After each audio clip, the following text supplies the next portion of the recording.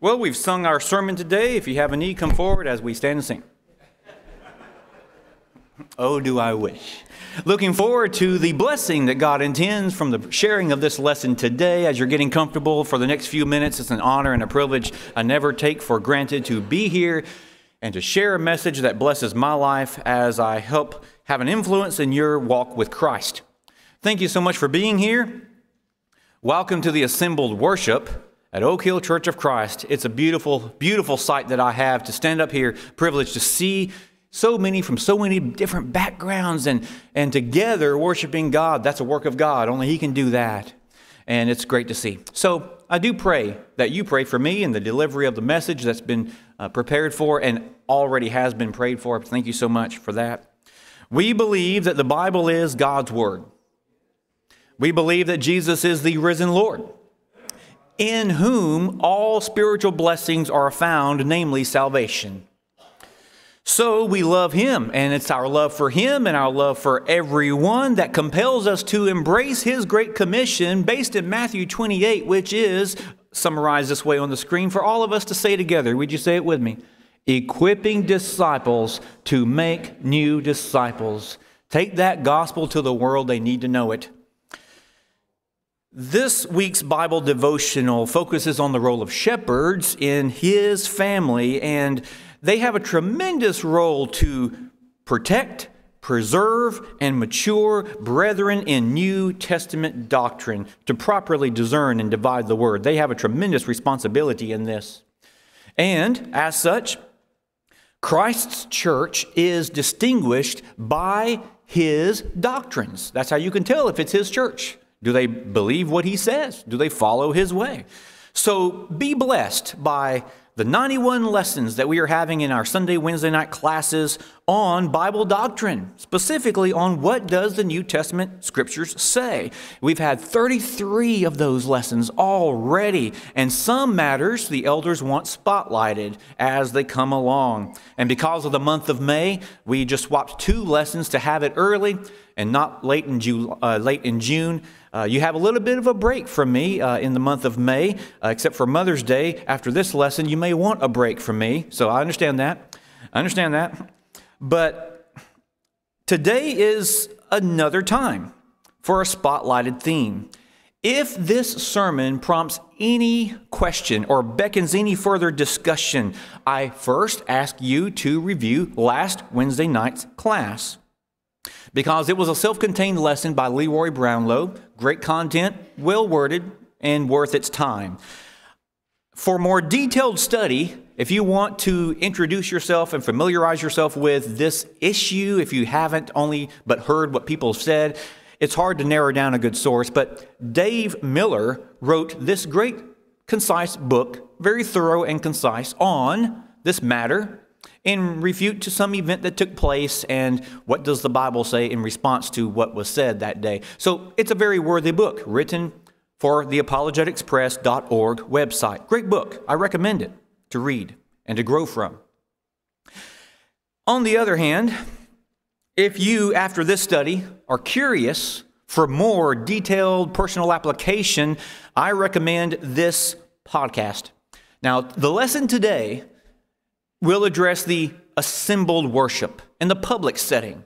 This particular episode of the podcast Today with Jesus by thelightnetwork.tv does an excellent job discussing how far we take this in our personal walk or expression of joy to the Lord. You, as a Christian, perhaps might want that lesson after this. They did a good job. I won't repeat what they said. That's, that's their lesson, not this one. But I recommend those two or three sources. Episode, uh, season 4, Episode 8. Today's lesson is rooted in a few key principles, and that's what I want to focus on the authority of Scripture and the hermeneutic approach we bring to the Word of God. Sometimes I hear people say things over any issue or matter, and I think, just how much do they revere the Word? And how much do they reverence God who spoke it? That's a good question. That's the approach we're going to take. Now, we could deal with, as we interpret and apply Scripture, direct commands, necessary inference, apostolic example, and the such like. In fact, in the manner of the first century church, the very word a cappella has come to have certain understandings, but it simply means at the root in the manner of, because that's what they did. Every New Testament act that we do for worship today, praying and singing and communion and giving and studying the word, hearing it professed as we meditate on it, all of the things that we are doing are do, being done in the manner of the first century church. Every Sunday, I hold up the Bible and I remind us that this is the standard in all religious matters. Sometimes I assume, sometimes I wonder if people know what that means. And I know that inherent within my role of preaching is to teach because faith comes by hearing and teaching is required to get people where they belong. I always want to be a springboard for the faithful to help encourage and strengthen. That's my forte. Everyone knows that's what I do. And yet, there are times to address things like this. Some people are open for teaching, some people are not. So I pray that it's well received. Regarding today's matter on instrumental music or the use of the instrument in assembled worship, it's, it's only worth our time because it addresses or it springs up as a consequence of something more important, I believe, and that's reverence for Christ and his authority and how we approach Scripture and his covenant as a foundation of maturity to grow from. A humble heart, please listen to every word carefully. A humble heart first answers this question Do we want to give God what he wants? Or do we prefer ourselves? God's will or our way? Now, this is a question of the heart, and God knows our heart. Let's make sure that we do. Will He be more gracious to some on that day than we might think? Most likely. Will he be more stern towards some on that day than they think? Most likely. I remind you that it is not our place to tell God how to accept us. It is our place to accept what God says we are to do to be acceptable to Him. As we consider the flow of Scripture, moving from the former covenant to the new. The one question I want to ask and answer before we even begin the lesson, and I know we already technically have begun, but that's what a preacher does. Before we begin, before we begin, we'll finally get to it. But pertaining to the authority of the New Testament scripture, which is the blueprint for us, the New Testament church, let's ask this question Why? why would we even want or need to let the New Testament be our covenant to live under and to follow no matter what it asks of us? Why? The answer is in the prologue of the Gospels. It's all about Jesus. That's why. And it's well summarized in Romans 5, verses 6 through 8. If you're there with me, please follow along. For when we, were still without strength. In due time, at just the right time, Christ died for the ungodly. The subject is us. He died for us, the ungodly. For scarcely for a righteous man one will, uh, one will die. Yet perhaps for a good man someone would even dare to die. But God demonstrates his own love toward us in that, which means here's how he did it while we were still sinners, Christ died for us. We see that grace initially given and it sustains. But follow this outside of Christ, we are all lost sinners outside of Christ. We were in rebellion to God's will. We were in rejection to the superior holy king's will and purpose for our lives. And so instead of justly destroying us, God Himself did not choose to wipe us out, but through Jesus Christ Himself in flesh died to pay our sin debt. And that made atonement, and that made forgiveness and reconciliation and redemption all possible. He not only offered the sacrifice, he was and became the sacrifice. That is why we listen to what he has to say. That sacrificial love deserves our love and reverent devotion. How much do we love the Lord? How strong is our loyalty as a foundation for maturity? Well, both are tested whenever he his prescribed will seems to counter, listen carefully, a personal preference. Do we uphold reverently God's will or do we insist, and that's the heart word, insist on personal preference? That's the question the heart has to answer. And that's what I'm directing our minds on today. For some reason, and for some people, uh, among many things, the heart is tested by today's question What about instrumental worship? We're asking the question academically is there authority for its use or their use in the assembled worship? Uh, it's a grammatical uh, phrase, but I'll reword it on the screen. Are they permitted if there is no prohibition? So, just what does the Bible say? It may surprise some that many have found instrumental worship and have decided it's okay. Now, hold that thought. I've got a few more minutes, so hold that thought. We're simply going to ask, where do they find it? Well, some people find it in the Old Testament. Some people find instrumental worship in the Old Testament, for sure. Under the former covenant, David himself used an instrument to express joy and praise to the Lord. And this example is seen in Psalm 150. It's even stated as a command in Second Chronicles 29.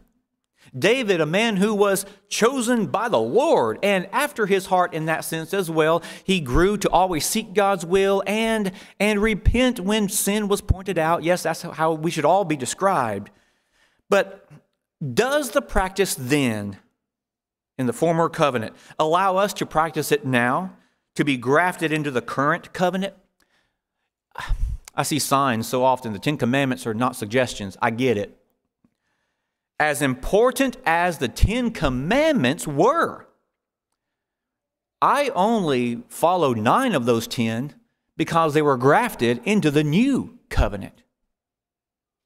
Hebrews 7 12 explains that when the priesthood changed from Aaron to Christ, the law also changed. Galatians 3 explains that we are not under the old law. We can learn from it, but we're not under it. Everything was to point to Christ. So God certainly accepted David's praise. He wasn't under the new law for sure. But those former covenants, uh, Galatians 3 10 through 14 describes why it's very frightening to let the former covenant influence anything of worship practice under the new covenant namely because of salvation. I know the context of Galatians 5. If we want to submit to the old law, we are submitting to a curse because it revealed the sting of, of the law, death. A sting of sin is death and the law. So, circumcision is referenced as something you've got to do. And I'm thinking, no, that's met by Christ, the circumcision of the heart. If we depend on the law to govern us, in principle, Christ becomes of no effect. And I just am so careful, reverently cautious to not depend on the old law when I need His grace every day. I must acknowledge this fact. I'm not under the covenant, I'm not under that old law. And I think that just needs to be pointed out when we go to it for attempted justification. So, many people find it Many people find instrumental worship in the symbolism of heaven. The symbolism of heaven, the symbolic pictures of heaven. And yes, in the new covenant, we have that marvelous completion to the revelation of God in the book we call The Revelation of Jesus Christ. Directing our eyes toward the hope of Jesus' return and the promise of his reward to the faithful saints of being with him, dwelling in heaven forever. I want to go to heaven because God is there. That's what will make it heaven to us. The rationale is this, though. If God allowed worship of instruments uh, with instruments in the old law, and then if he's going to allow them in heaven, note the wording carefully. If he's going to allow them in heaven, how could anyone claim that uh, they're not allowed in the church today? Uh, I often remind people in political season listen very carefully to words and substance. Don't be fooled by words over substance for sure, but listen to the wording. The question is wrong because it assumes some things that are not quite right. Uh, I get the reasoning, though. I get the reasoning. Uh, if it's based in the revelation, though, we have to ask does the portrayal, does the symbolic portrayal of heaven give us the contextual allowance to let the images in the book provide equipping for instrumental worship on earth by the saints under the new covenant? That's a fair question.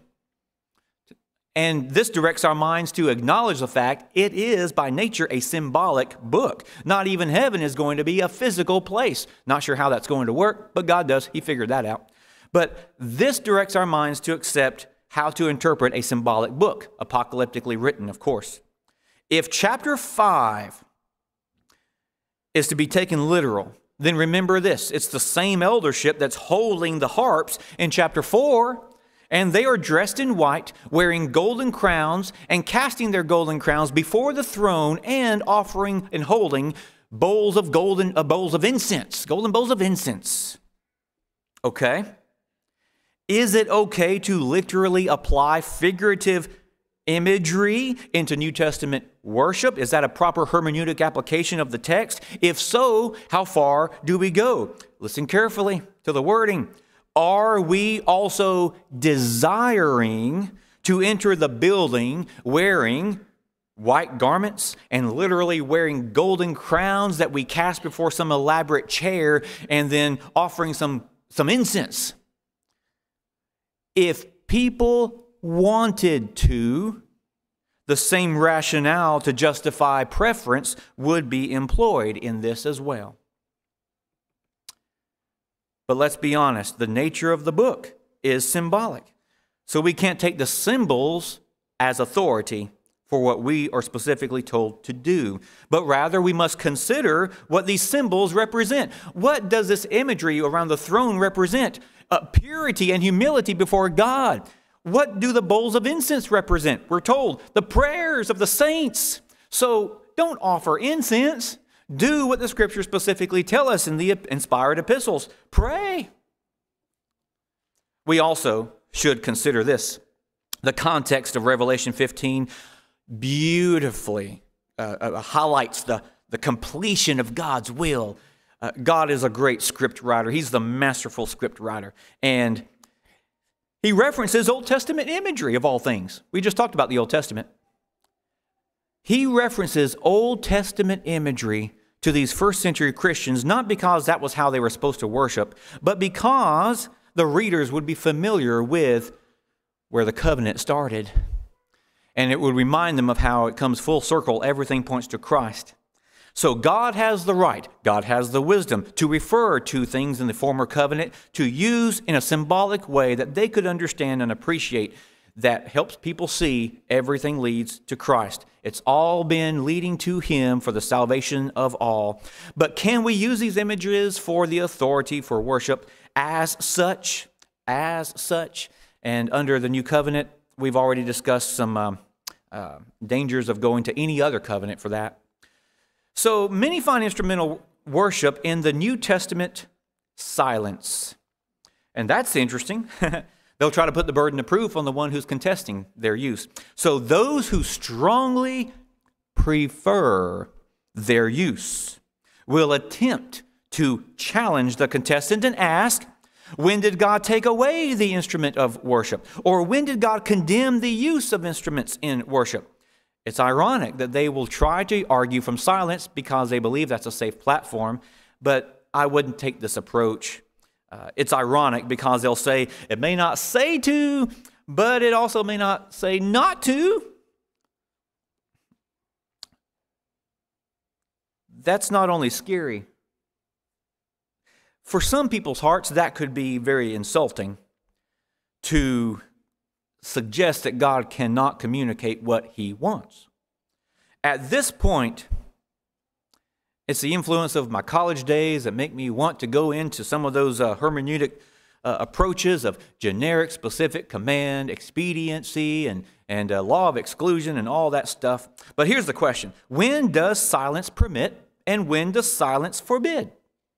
We have to deal with that every day. We do things that we can't find in Scripture. For example, the Great Commission that we just referenced at the beginning of the sermon time. It says to go, it says to baptize, and it says to teach. We know what to teach the gospel. You can't change that. But we have no specific command telling us how to go, and I'm thankful. If you applied legalistically the apostolic example of that, you'd say, oh, no, we can't use cars. They only used horses and camels and boats back then. But that's all we got to do. Uh, that's, there's nothing wrong with, with uploading a video to the internet. That's a way to do it.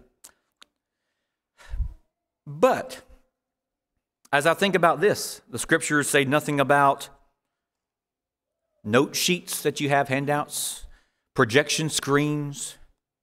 Scriptures say teach, and that is a method to enhance the teaching. Yes, yes. That's actually one of the purposes for singing actually is to teach and admonish and encourage one another. Colossians 3:16 tells us this. So we're encouraged, we're taught, we're, we're, we're exhorted by the reminding of truths. Listen carefully. Spoken words do much better at that than mere notes from an instrument. But the question is still not, not going in the right direction. What's the question? Does the New Testament silence forbid their use? And if so, how?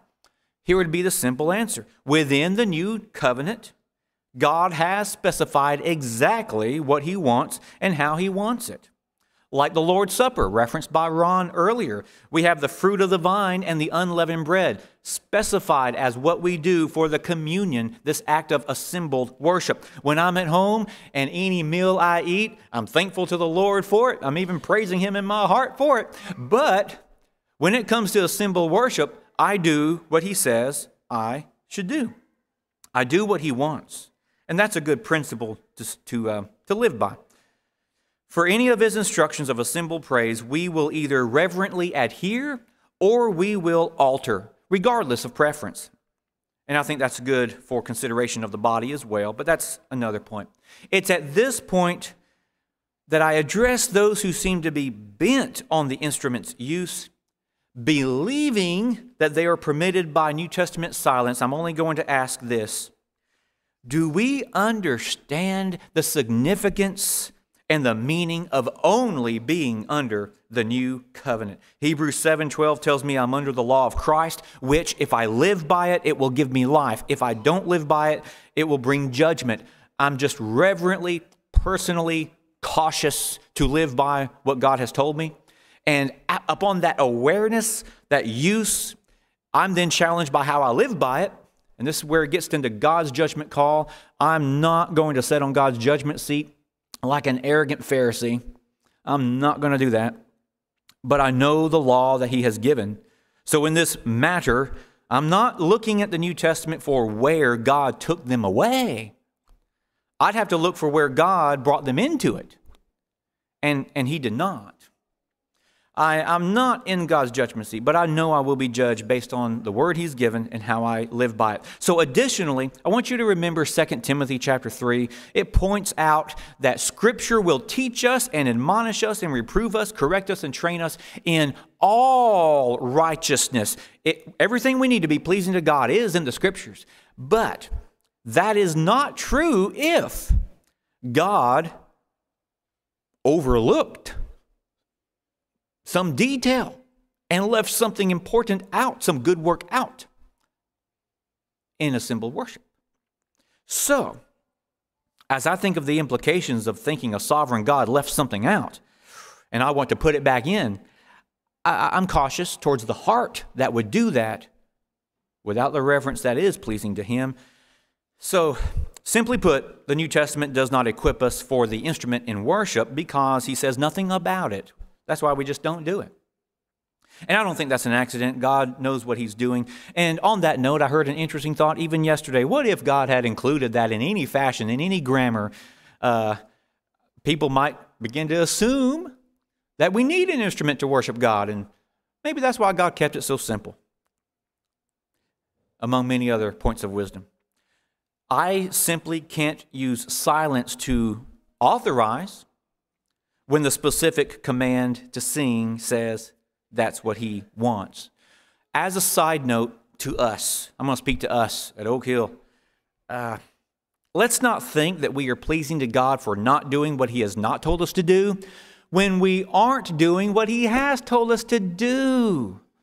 If you are physically able, please stop making excuses not to sing. Back to the sermon. That was a bonus. Many find instrumental worship in post biblical history. They look at ancient writings of ancient Christians, first century Christians, Nicene Fathers. This has been a fun journey for me. I've enjoyed going back into some of these. Uh, post biblical history. I want to be thorough, but for time's sake, I know I have to be concise. I'll speak quickly, but listen, listen quickly and carefully. Here's an interesting quote by none other than Clement of Alexandria. He lived so close to the apostles that you would suspect he would know their practices of worship, okay? This is a statement that first seems to suggest that instrumental worship was just part of their life. And it goes as this uh, it's not on the screen, but I will read it for you uh, in my notes. For the apostle adds, teaching and admonishing one another in all wisdom and psalms and hymns and spiritual songs, singing with grace in your heart to God. And even if, as he writes, if you wish to sing and play to the harp or lyre, there is no blame. Thou shalt imitate the righteous Hebrew king in his thanksgiving to God. Rejoice in the Lord, yea, rejoice. Praise is comely to the upright.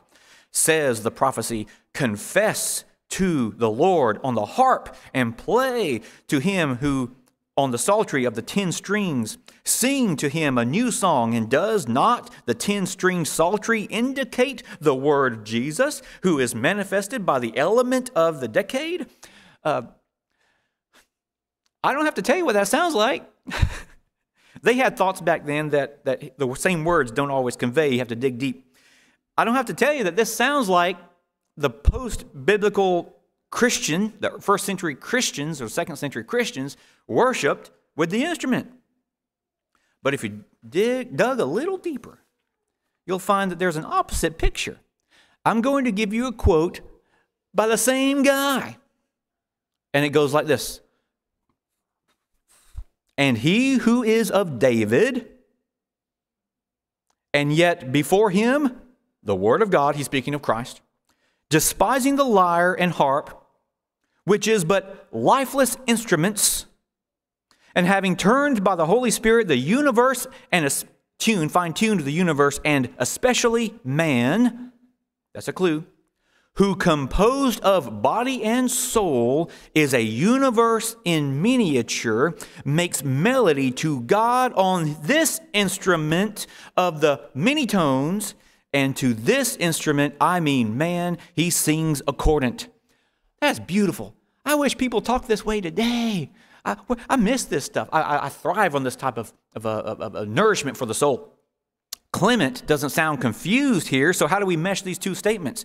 He did not use instruments in worship, believing that the great instrument of music was the individual Christian singing unaided.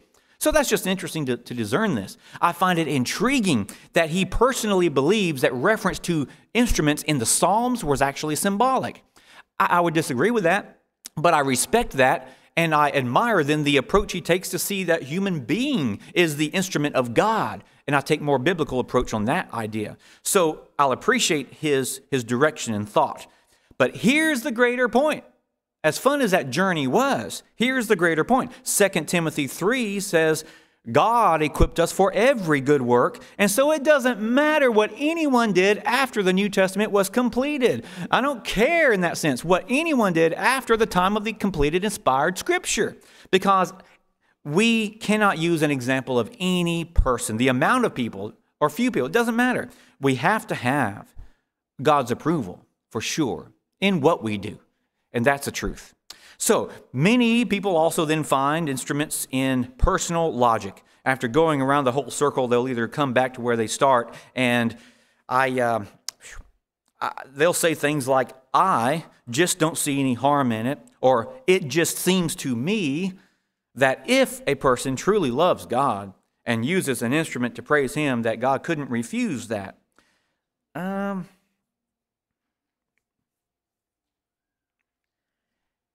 even if we have preference, it's not about us.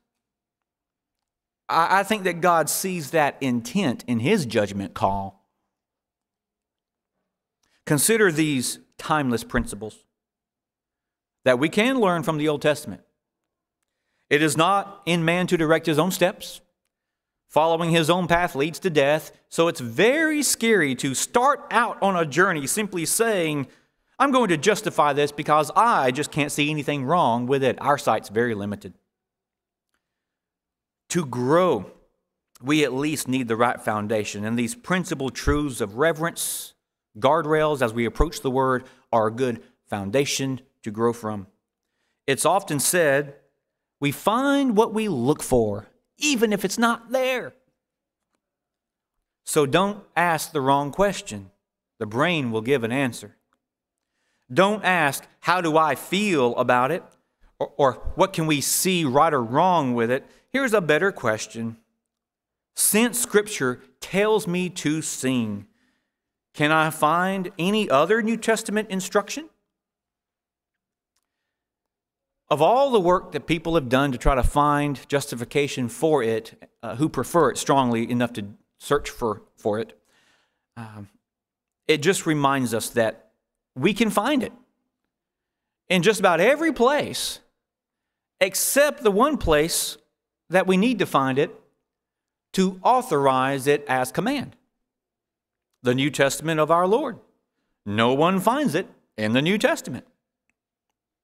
And thinking of 2 Timothy 3, all the New Testament scriptures equip us to do good works, and we are equipped in the New Testament to sing. And I'm, I'm glad that we are.